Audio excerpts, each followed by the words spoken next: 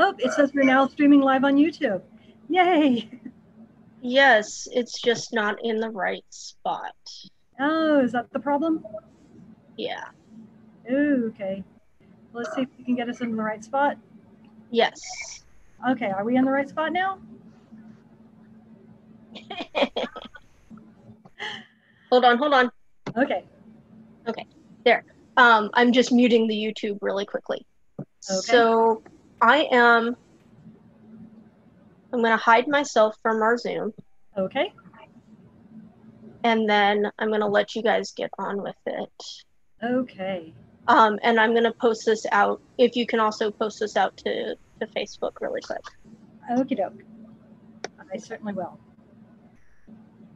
Uh, let's see, where's the little Facebook one? Because I have to go find the event. And I will post it into the other face into the YouTube one. Okay.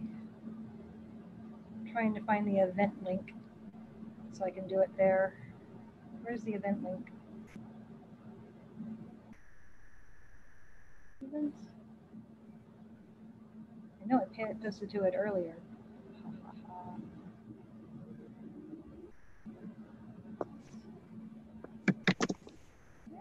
Where's all my events? There we are. There we go, and I'll go post in here.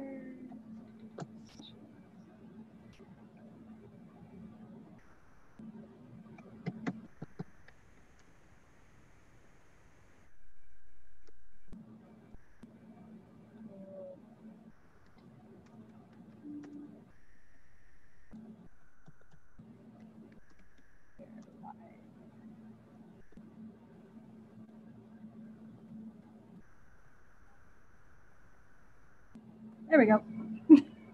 Okay, I posted. And you're still on there, uh, Melissa. Are you going dark yet? I am dark. Oh, because I can still see you.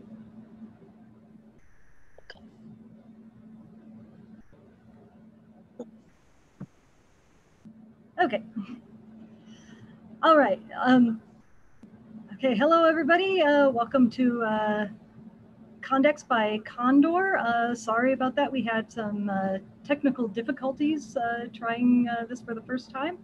But again, welcome and welcome to our guest, Elle McKinney. Uh, Elle, thank you for uh, joining us here uh, for Condex. And um, Thanks for having me.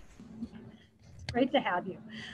So um, I've been reading your uh, book, which I'm so far I'm enjoying uh, very much. And if you would like to uh, tell everyone uh, out there and on YouTube uh, watching us, uh, what inspired you to uh, do a blade so black? Yeah, um, so I tell the story a lot. It was really a combination of a few things. Back in the olden times before, you know, we were all stuck at home. Um, I was at my mom's house. I was watching Supernatural reruns. I was sitting on her couch and they were hunting vampires. And one of them made some sort of quip about Buffy or in reference to Buffy. And um, earlier that day, Disney had announced that they were going to do a live action version of Alice in Wonderland. And uh, my initial thought in response to that was nobody asked for this. Um, but then that idea started knocking around with, you know, what I w- had been watching. And so I wrote a fight scene. And the fight scene eventually became uh, more. And I added to it. And we got the first draft of A Blade So Black which was essentially uh, the Winchesters and me questioning Disney's choices. It's always fun when you when you get a kernel of something. You never know what what's going to spark spark a story. So um, you have a you have two books out in the series now, correct? With a third that's coming out. Yes, the third one, which is A Council Cursed, which will end the trilogy uh, that starts the series for the Nightmareverse books, um, comes out next year. And uh, it will complete Alice's journey thus far. So are there more than planned after this uh, this trilogy then? Well, we do get a prequel, um, and it's a lot of people are like, "Oh, is it prequel back during the the the war and everything with Hatta and the group?" And it's like, "No, not yet. This one is after the war still, but it's before Alice. Um, it takes place in um, 1880s, 1890s, uh, Whitechapel, London, where um, the locals are kind of worried about, you know, something going on. People are getting ripped apart and it stars um, we get to see the duchess and we get to meet baudelaire who is this uh, her version of um, a dream walker at that point in time. And they get to go investigate what's going on because the duchess is like that's not a person doing that. That's a nightmare. We have to go stop it. So that's how we get that story. And uh, hopefully we'll get more from the past with Hatta and the group and all that. Um, but as of right now just wanted to see what it would be like to explore this world still from human eyes but not necessarily alice's so that must be what i was looking at on your uh, web page then when i saw that there was another book in the mirror uh, series is that- the mirror series is actually something else altogether uh, that is with uh, four authors total it's myself uh, Julie C. Dao, Dhonielle Clayton, and Jen Cervantes. And um, the Broken Wish just came out this month by Julie, and it's available now. And it follows uh, Magic Mirror, this family heirloom, through time, uh, through these four generations of this family, and all that ensues with that. So hers is currently out right now. Go get it; it's amazing. Um, mine won't be out till much, much later because I'm writing the fourth one so there's two two more books before mine so it'll be a few years beforehand. Um but that's the one that i will be writing and it will be set like right now julie's is set in 1800s hanau germany. I think i'm pronouncing that correctly. I apologize if i'm not. Um and then mine is set in 2003 uh, new york. And mostly because you know i was like i'm kind of scared of historicals because there's a lot of research and a lot of stuff you can get wrong. But I guess now 2003 technically counts as historical. I, I don't know. That makes me feel weird and old. Um, well, at least it's yeah. historical that you've lived through. well, yeah, like I get that advantage. Like I get the advantage of I was I was there here on the planet when that was happening. Um, that timeline and everything. So I don't have to do a whole lot of research, but still. Uh, so that that's what the mirror is, which so, I am equally collaboration, but not a collaboration because each story is is standalone. Correct. We we all sort of we read each other's books and we give notes because there are threads that have to be woven through the entire right. series. Right. Like, but like overall, right. A, a collaboration that is not a collaboration because each story stands alone. But yeah, you have to all agree on how the universe is actually working for continuity, obviously. That's really interesting, though. Uh, wow, that's that's cool. Um, I also saw that you uh, do, uh, or you've done a script for a graphic novel because you, you yes. right? But you you did the script for a graphic novel. I'm really excited about that as well. Um, it's Nubia, Real One for DC Comics. It is a young adult graphic novel um, set in sort of like a alternate world where all of you know these iconic heroes we get to see them during their teen years you know becoming who they are as a person before they become who we know them as in the comic book world. And i was super thrilled to get a chance to write nubia who is wonder woman's twin sister. Um, she is you know this powerhouse um, or at least the version that i fell in love with you know back before uh, we got crisis and a lot of you know things went by as it tends to happen in comic books.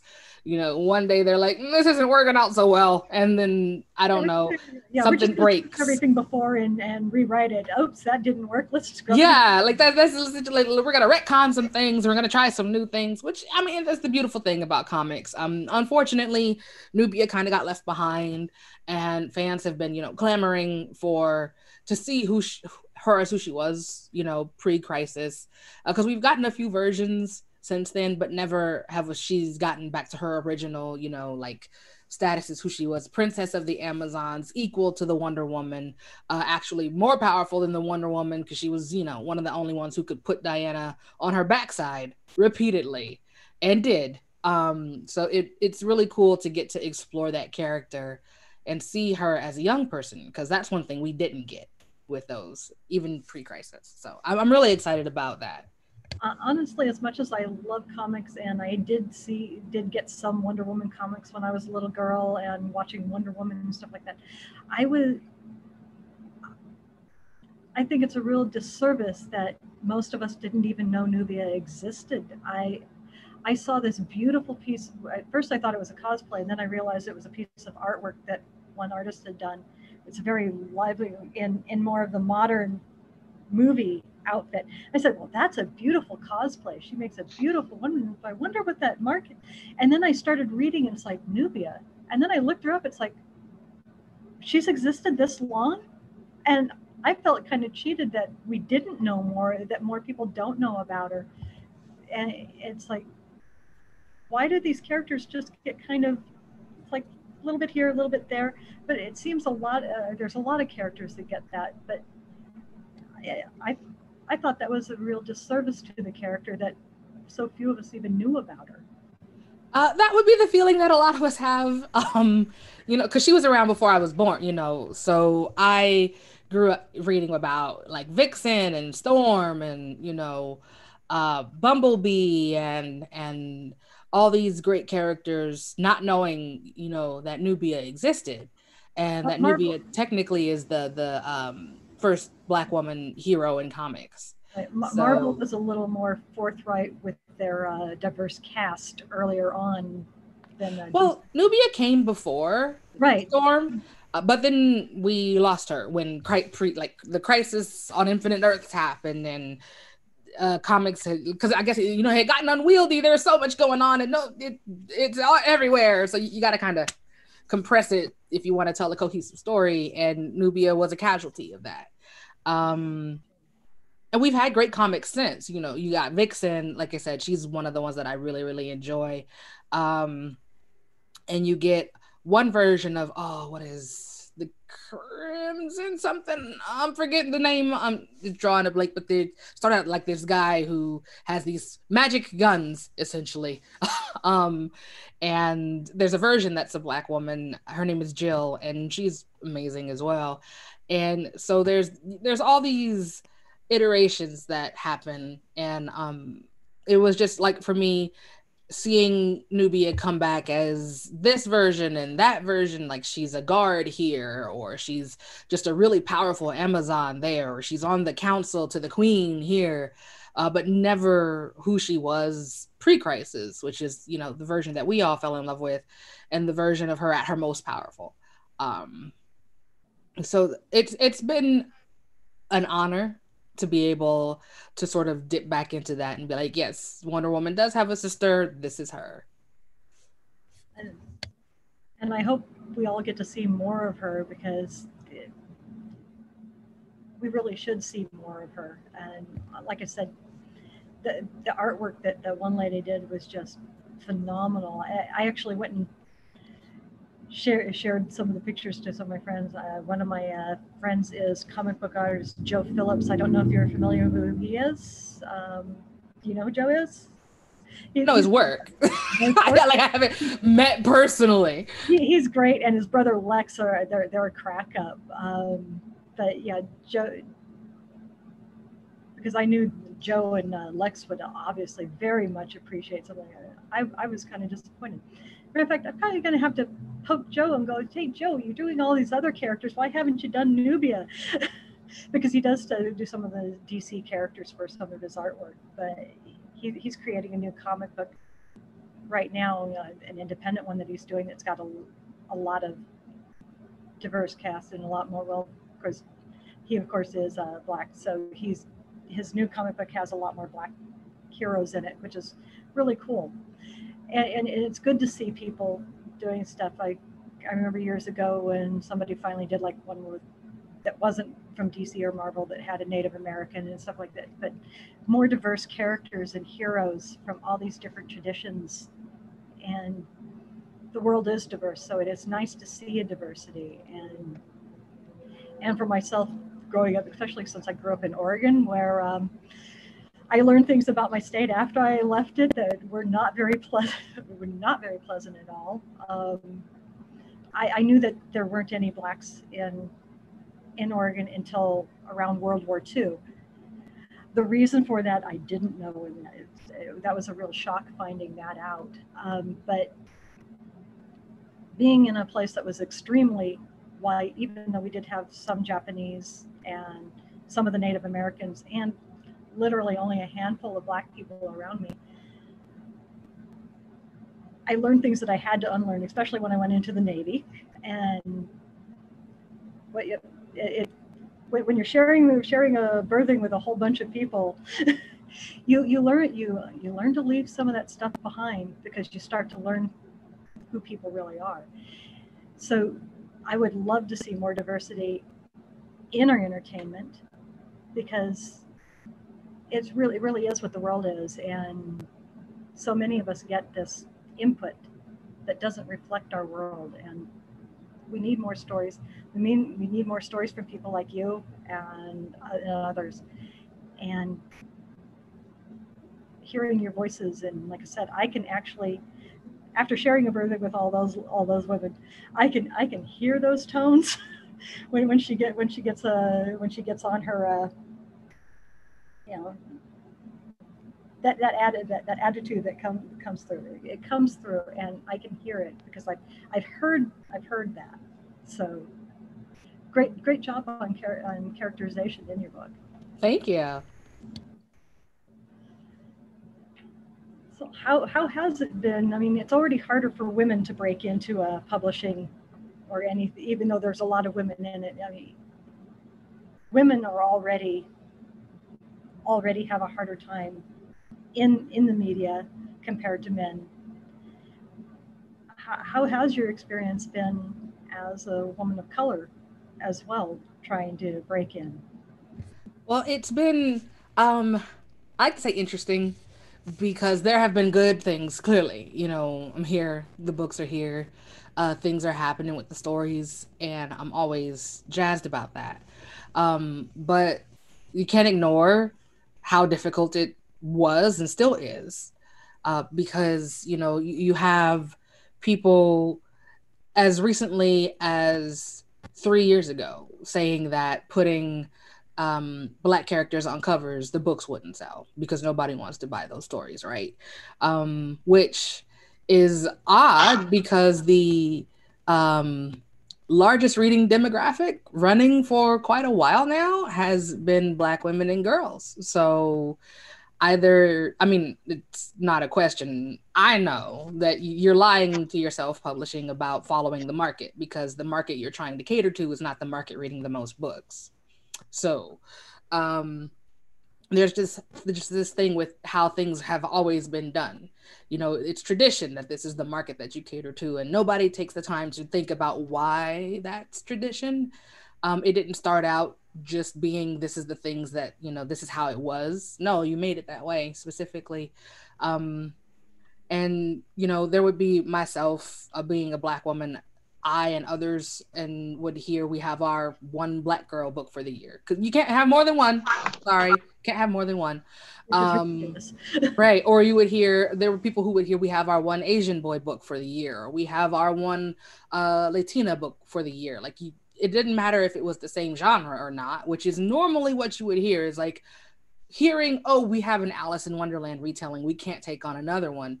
That okay, I get that. But we have our one black girl. So your black girl book is about probably something from Jim Crow or something because that's mostly what publishing was interested in hearing about was stories of black pain and struggle, you know, slavery, that sort of thing.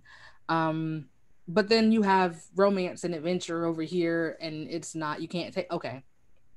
And there's still this issue of which books publishing will push more than others.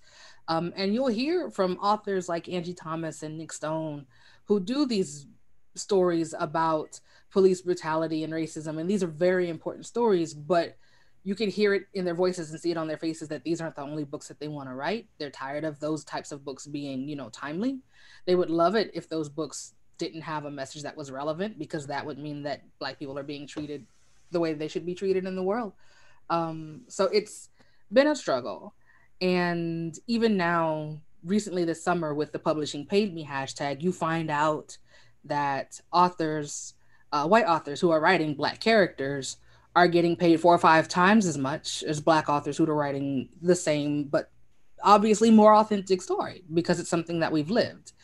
Um, and that came out and showed that you know it's just like these are the books like our books are on published on the shelf but we're not being paid as equally as our colleagues um, for the same stories and, it's it's a lot. So I, I could go on for hours. i have gone on for hours. If you watch my twitter at all yes i have I've even I, on, I talk about this a lot. So I, have even commented on your Twitter. I, I, I remember the one where you, where you said you had your readers told you you need to explain why the braids hurt. It's like I've had my hair put in a French braid and a tight French braid, and it pulls on your scalp. I can't imagine all those tiny little braids have got to pull all six ways of Sunday on your scalp. It's, lot, it's, it's so interesting just seeing how, but it's also like I've t- I've spoken with other Black um, writers, and writers in color in general that it's just this we have and when i say we i mean society have been trained to a degree that this is the type of narrative you know because uh, the first four books that i wrote for three and a half because i didn't finish one of them um, before i published alice because alice is not the first book that I wrote, but it is the first book that got published. Well, those first three stories were about white boys because that's what I thought you had to write in order to be published because that's all I read um, in the genre that I wanted to write in, which was urban fantasy, young adult. And it wasn't until my sisters started having kids and they started falling in love with the same genres and reading comic books and reading those type of books. So as I'm going, there will be at least one book in this genre for my babies to read if I have anything to say about it. Um, and I didn't realize until afterwards that that writing Alice was I, I was also giving myself permission to be the hero in my own story for the first time because it had never occurred to me until then that I could do that because I didn't like my schools we didn't learn about Octavia Butler we didn't read you know, Toni Morrison. We read The Hobbit and I greatly enjoyed The Hobbit, you know.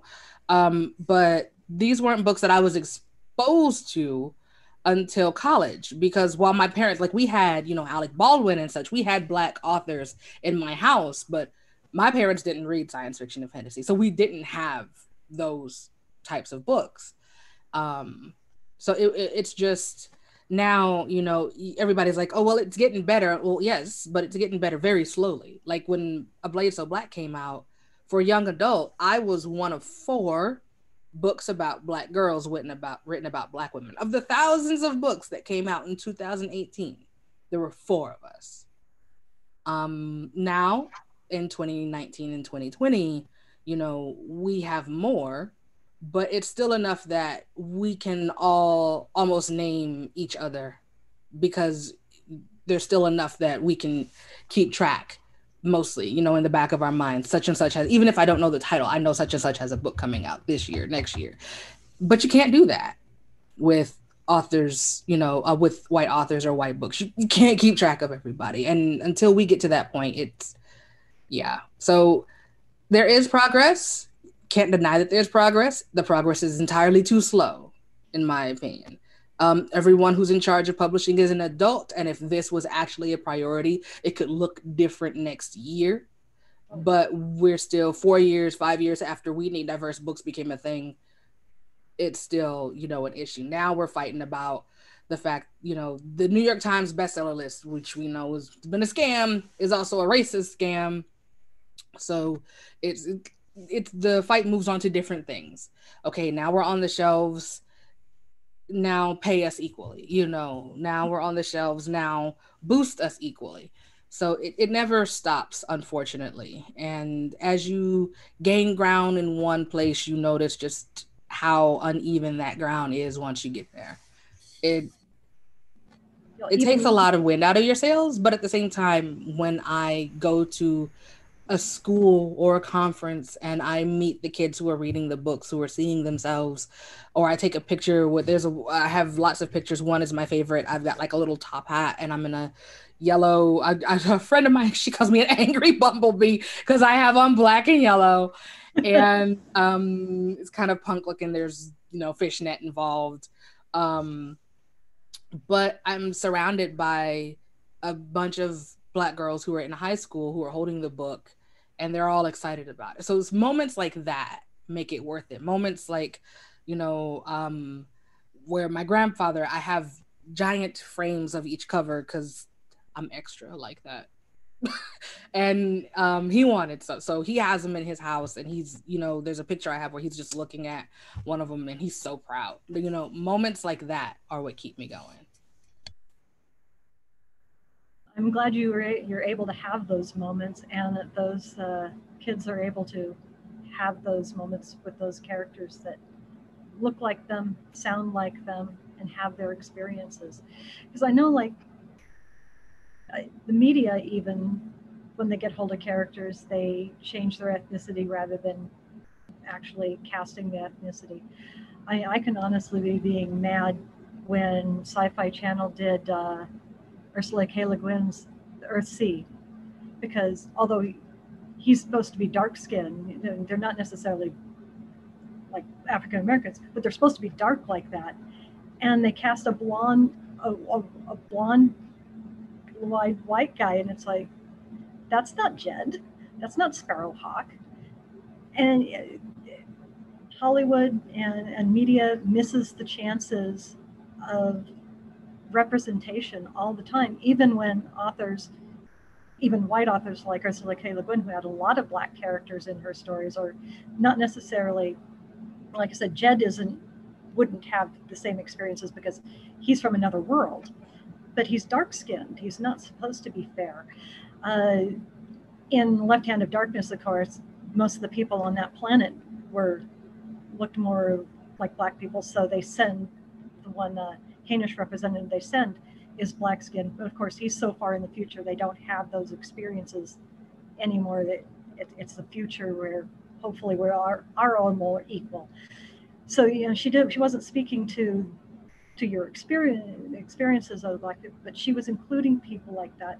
But when we get to media, a lot of this a lot of this diversity that was put in books goes away, and, it, and that, that's a shame, uh, even in the comic books. The diversity that's there when it goes to screen goes away, and it shouldn't go away because we already know who those characters are.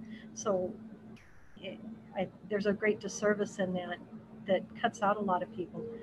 Um, look how long it took to do a a serious comic book movie with with a with a black lead and mostly black cast.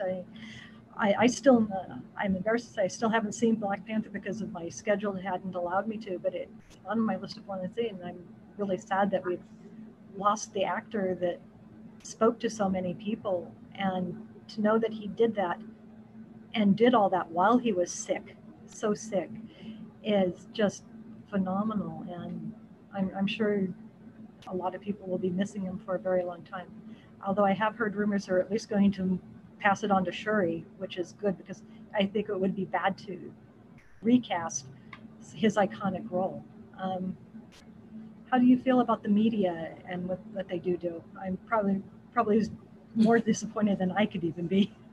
Well, I mean, it's it's one of those things where it's for a while you were sort of not numb to it, but you weren't surprised.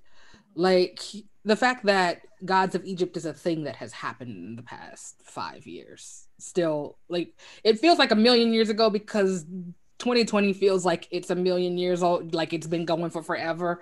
But um it just goes to show just how little despite what they say a lot of these companies actually view as important and who they view as important as part of their audience or who they're trying to court or who they want to show, you know, as having a story to tell. Because one of the things with publishing and then with these other stories is when you have this um, dearth of representation or you have uh, with like with publishing paid me showed who was getting how much you know money versus who wasn't it shows which stories are seen as valuable and which stories are seen as universal right? Because i mean i get it. Books publishing is a business. Um, hollywood is a business. People want to be in this to make money. Well they view particular stories as the ones that are lucrative because those are the ones that they've always made. Or and then when one story doesn't you know you you have a black story and it doesn't do as well as you would want um, they're like see all black stories are going to be like well it could just be that that one wasn't shot very well or the writing wasn't that good or y'all didn't market it which is a it's like a self-fulfilling prophecy when you have a movie or a tv show or a, or a book and you don't market it and then people don't show up. You're like see didn't make money and like well you didn't tell people it was a thing. So when you start caring enough to put money into the project and then if it doesn't do what is expected of it you still move on to the next you know story and you put money into that project regardless. Because there i can point to even in the marvel franchise the ones that would be considered a flop the other movies still got made. Like they just didn't stop making marvel movies because one of them didn't do well right? So you need to do the same thing with the these stories. Um and I, I think it's like you could kind of tell that um, Marvel didn't really expect Black Panther to do as well as it did because he would have been featured much more prominently in Infinity War and Endgame um, if they knew how popular he was going to be, you know. Um, and I know from working at Hallmark because uh, I wrote cards at Hallmark for a while, and I was writing cards at Hallmark when Black Panther became a thing, and for months leading up to the release of the movie, I was like, so are we gonna write Black Panther cards? Because I was on the team that you know wrote for superheroes, for kids, for adults. Um, I'm like, we have eight Spider-Man cards and no Black Panther cards. Are are we gonna? There are 19 Batman cards. Can somebody? Can we please?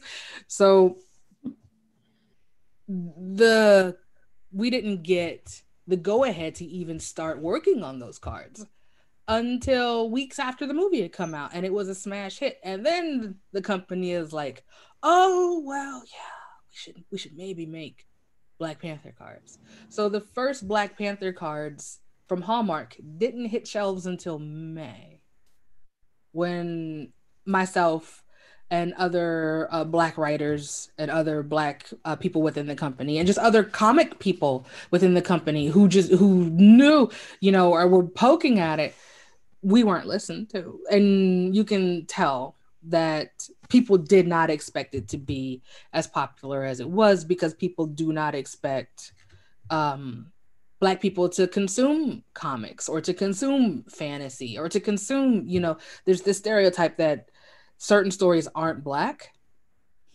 because they've been predominantly white. And i'm like well that's because that's the choice that y'all made.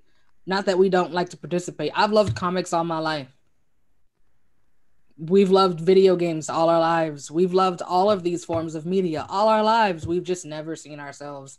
So it's the idea that, like I said earlier, um, you know, with black women and girls being the highest reading demographic, if you actually paid attention to the numbers instead of to the numbers you want, you would notice that no, we're we're here and we our money spends just as well.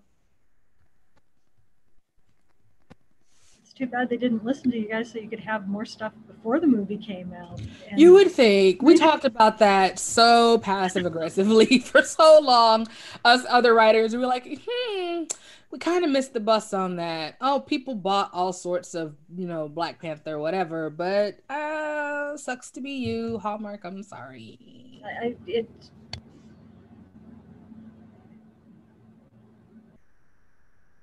when, when you look at how many movies have failed to say that like you said just because the tiny little pittance that they put out fails going C when we've got more failures even on the other side is a poor attitude. And you're right a lot of times it's the story wasn't good or the acting wasn't good. The special special effects you can ignore if the story and, and the acting are good. But if uh, the story isn't good, it it's not going it's not even going to resonate with its intended audience obviously because that's what you that's what happens anyway. It's it's funny to me um like even with the success of what marvel is and everybody's like oh black panther is the first and i'm like well yes black panther is the first in the marvel cinematic universe to have a black lead for a comic book movie and it is also the first to have a predominantly black cast and as much as i love the iron man movies um for what we know as comic movies currently the MCU started with Iron Man, but those types of movies didn't start with Iron Man because you had the Spider Man movies before that. And then before that, you had Blade. The Blade movies were the start of the modern comic movie, in my opinion. And Blade is a black character. The role was helmed by a black actor, and they were popular enough to go for three movies. Like they showed um, studios, yeah, this comic thing can it can it can be done. And people don't give it the due for for that happening to the black comic character that made it happen. Like they go right, and as like i said as i'm team iron man all the way but iron man isn't what showed this was popular. Iron man was the hail mary pass for the mcu overall but i don't think they would have even thought it was possible to do that if they hadn't seen the success that they saw with blade followed up by you know then spider-man.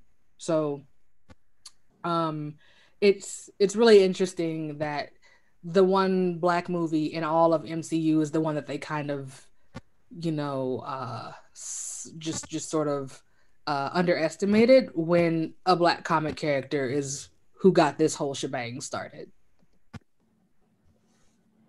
and of course spider-man only recently got brought back into the MCU because of Sony being bought pretty much by uh, Disney. And I guess X Men is finally going to be integrated now, which, of course, a lot of the black characters in the MCU are more in uh, in X Men because the X Men has a lot of has a diverse cast already compared since it's an ensemble of people from all over the place. So it'll be interesting to see what happens as they integrate uh, X Men back into the MCU, especially since they've already messed with a few of the characters because they wanted them, but they were but they were tied to the X Men, but they brought them in anyway, uh, such as Scarlet Witch and uh, Quicksilver, which kind of got a strange treatment in, in the thing. It was kind of funny seeing two Quicksilvers, one one in the X Men movies and one one in the that's the beauty and the curse of comics, man. Oh yeah, alternate dimension. the story, the storyline's here and the storyline's there. They do it all the time, and yep, and then they go collapse it all and start again. Yeah, it happens all the time, all the time, all the time. I, I, was actually working in a comic book shop and planning on buying one back when some of the uh, resets were happening uh, because it was Age of Apocalypse was going on, and DC had just done the thing where they had gone to zero on everything and had basically destroyed all the other Earths. So yeah, it's like I, I was in a comic book shop thinking about buying a comic book shop during during all of that, which was kind of an interesting time in, com- in comics, and you still had a lot of the strong alternate comics going on it really, really in their strength at that time. And um, Dark Horse didn't even belong; it was still pretty much was just integrating with uh, DC because it'd really been more of its own thing. So yeah, it was a, lo- a lot of stuff was going on when I almost bought a comic shop. So I, I was very aware of what was going on during that time, and more so than I've been before or since. But I've always loved comics because uh, the visual is is great. Um, do you think any of your uh, books, other than doing Nubia, do you think any of your others will become graphic novels? Oh, I hope. I love graphic novels. Um, I think it would be great to see uh, the Nightmare Verse as a graphic novel series, just because of how the visuals will be able to pop. Mm-hmm. Um, anything I write in the future, I think would be great to be converted to graphic novel. Uh, just because, I mean, anything that helps you know kids read anything that leads to kids being able to grasp the story uh, maybe more deeply or just at all because we're not not everybody reads or consumes a story in the same way um, so I, I would love for there to be a graphic novel prose audio all of that of everything all the time. Uh, just for easier access. Um, access shouldn't be you know an aspiration. Access should be ground level. This is here for everybody. So it, it, shouldn't be you know like a milestone that you hit oh well now it's available to this group of people or that group of people. No like you should start with access as the baseline and, and some stories are better visually uh, because they're sometimes get giving a visual because some of some of us have vivid imaginations and these descriptions actually will resonate in the mind's eye. And some people I've heard I've heard this actually don't have their mind's eye, so they can't actually visualize it unless you show it to them. So they miss they miss some of the richness of the world if it isn't a visual medium of some sort. So yeah, uh, visual mediums are definitely very very important as well. Um, did I read that you on your website that you you actually have some, or you've signed a deal for uh, the Nightmare Verse for for uh... yes um that was fun it was the option for the tv show um everybody's always like what's happening with that? And i'm like well i don't know. Um i never know anything because when you do stuff like that you are literally signing away. Somebody else is going to do their version of it. Um mm-hmm. when stuff starts to happen is when i find out. Sometimes maybe um it but could yeah, be in a couple of years, or it could be in ten years. It could be very, very true. Um, or it um, could, or it could just sit there and languish the, the, with them having the rights and never actually get made, which people don't understand that aspect of selling rights. Yeah, or they'll revert, and then you go and do other things. Like there's so much happens with rights outside of that's like people don't like talking about it until like it gets off the ground and it starts going because we don't have answers. I would love to be able to say like say everything that's happening. I don't know. I would love to know but do you have a clause where you get to be do you get to consult on it when they do finally do it or did you sign up? It'd be nice. Um I have that ability, availability to do so. Uh, whether or not that will happen is not up to me. So it, it literally is it's the same with like some authors and their covers. Like I was very heavily involved in the covers for the books. I got to choose the cover model. Um, they sent me comps and I got to say, I like that about this cover, and I like that about this cover. Can we bring those two together? And ultimately, that led to how we have a Blade So Black, uh, the cover that we have now. Um, for all of them, I you know they asked questions and i gave input and they took it very seriously. Um and there's some authors they get a picture. They're like here's your cover. It's going live tomorrow. Like it honestly depends on the team responsible because i legally don't have i don't get a say in my cover but my team was very respectful for what i was trying to do with the story and what i was trying to do with wanting a black girl on the cover of an adventure book um, so I was very involved. It could have been easily the opposite. So it could go many multiple ways with any adaptation, um, wherein the only thing I have control of 100% are the words on the page. Everything else is ultimately someone else's decision. So yeah I'm as long as I'm happy with the words on the page, they're not going anywhere with no matter what happens. And I hope that people keep that in mind, not only just with my books, but with all books in general. Like the only thing the author has control over is the words on the page. Now, maybe if you get to Stephen King levels, they'll let you make changes to scripts and things like that. But most of the time, the author gets, they're like, here are the episodes have fun. That's literally what happens. Um, sometimes you get more involvement, sometimes you don't. Um, but it we're not we can't make that decision. So I, I know some authors get more input than others. Obviously, uh, with the Harry Potter franchise, Rowling got a lot of control over and say over what happened in in the movies, which is is an exception rather than the rule. Very much an exception. Where where even though Terry Brooks was a consultant for the Shannara Chronicles, some of the choices they made, yeah, you just sat there and shook your head and went. Oh, oh it's the same with like Game of Thrones. Like I'm sure he was consulted, but at the end of the day, the people in charge get to do what they want. Finish. They they just went where they wanted to, uh, which I guess is also something that happens in anime. If if manga and anime are run, running simultaneously and one gets behind, the people doing the visual will go, well, this is we're going to take the story this way, and which they are legally allowed to do. Yeah, yeah, because they they've got the rights for that story they, for it, and so yeah, they they can. If the author hasn't given them a blueprint, they can just take it the way they want it. Or and, even if they have, like you'll have books, you can still take it whichever way you want it. That the book has been around for however long, and then somebody mm. comes along and makes a movie, and all they have in common is the title and the name of the characters. Like that is it. Well, not even name the character, but uh, uh, Beastmaster comes to mind. Um, they didn't get uh, Andre Norton's permission, so they completely changed it from a science fiction to a fantasy and changed it. But if you've actually, I've actually read the old book around the time I, the movie came, uh, came out, and you can see the parallels.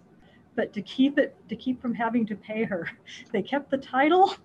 They kept the fact that uh, what type, uh, basic types of animals that he had and what they did, and the rest bears no resemblance.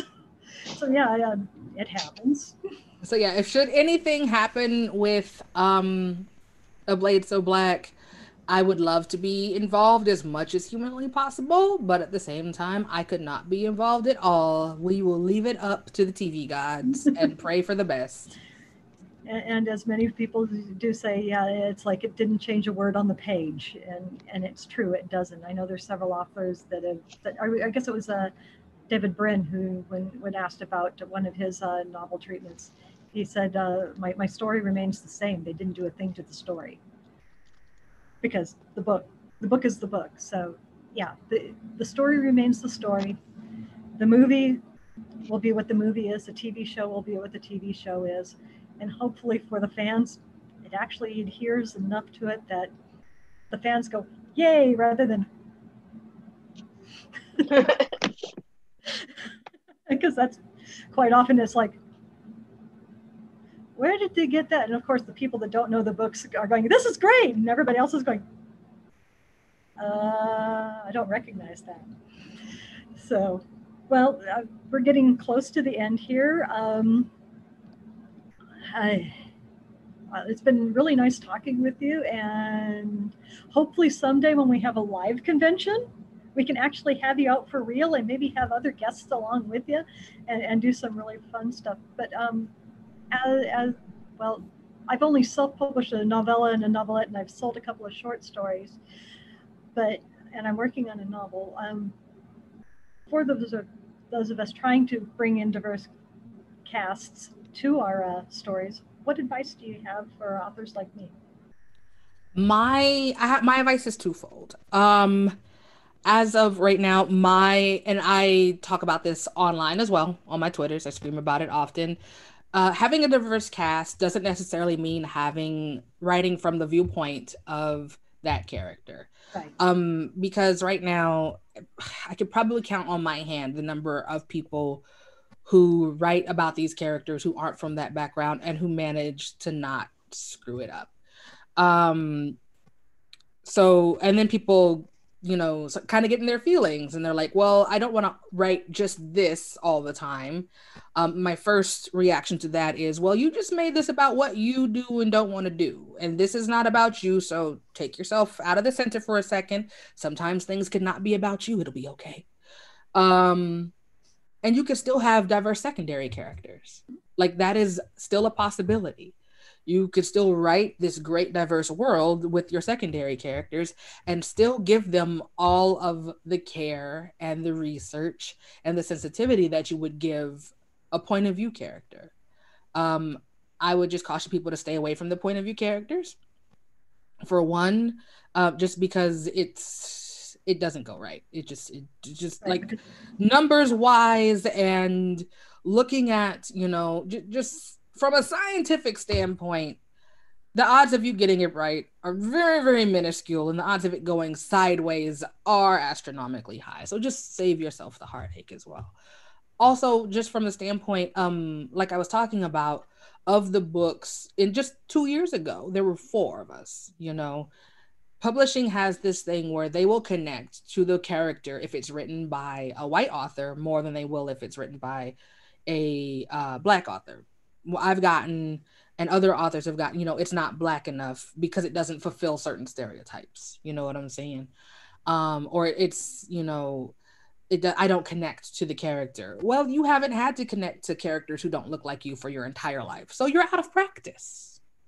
But by um, if it's from a white author, it still has that you know connection, and so they can kind of connect that way. Um, so if it comes down to a book written by a black author or a book written by a white author, nine times out of 10, the one by the white author is the one that's going to be chosen. So that book is literally taking space away from a black author. I don't like it. It sucks. I wish it wasn't like that, but them's the breaks because that's the world that we live in. Um, so that's why on second fold, I'm always I caution people against it because you will take that spot from a black author. Um, it's not your fault, but it will still happen and you'll still be party to it. um, but yeah, I mean, pepper your world with diverse characters because that's the world that we live in. Don't write from that point of view. Um, and whatever character you do write, do it carefully and with love and care. Um, do it as if you were writing that character from that point of view and you'll be as close to uh, getting it as possible. Also, um, be prepared to not get it and don't look for anybody to give you permission to do the thing because I'm going to say no. don't ask me. I'm just going to tell you no. Don't ask anybody permission. If you have to ask for permission, you're not ready to do the thing. Right.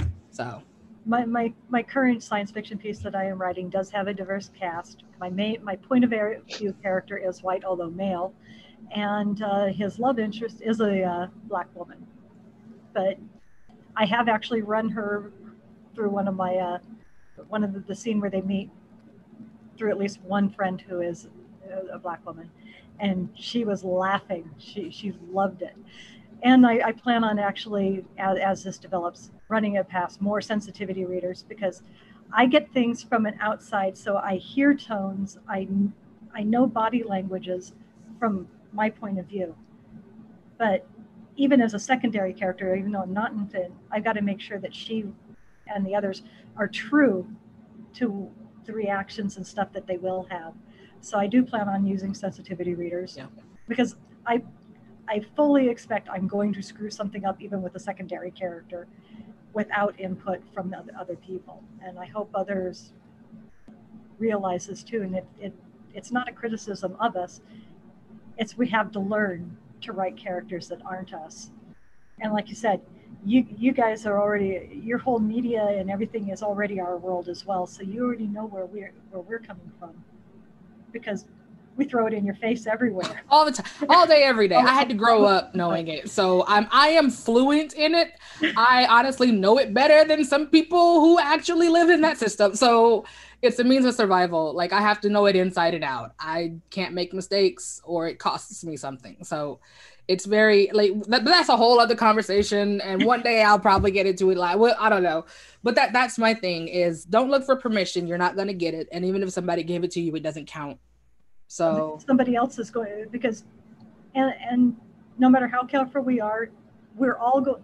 All of us are going to offend somebody with our stories. It's not going to resonate with somebody because people are all different. So we, we just got to do the best we can, all of us, to create stories that everybody can enjoy, or the, mo- the majority of people can enjoy, because again, we're, we're not going to please everybody, obviously.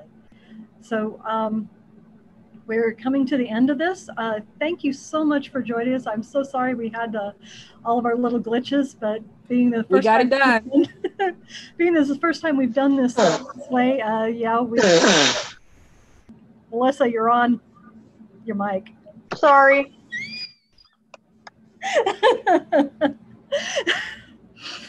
We're all learning how to do do this in in, in the world of COVID. Um, techn- we've been dealing with technology for all these years and we're having to learn to use it in new ways and all, and all the funny things that can crop up as we try this. So again, thank you so much, Al, for uh, joining us. And again, when we actually get to have a live Condor Condex, I would love to have you back and with other people so we, we can do multi-panels and you get to actually interact with all of us. So thank you for joining us as our guest of honor. And you follow in some really good footsteps because although I didn't get to attend attend our first con- Condor because I had a small one and I was kind enough not to bring my child to conventions that were small. Octavia Butler was one of our first guests, was our first guest uh, for literary. So you follow in some great footsteps. Thank you again for joining us, and we hope to see you here live in San Diego someday. Thank you. Thank you. You have a wonderful day. You too. All right.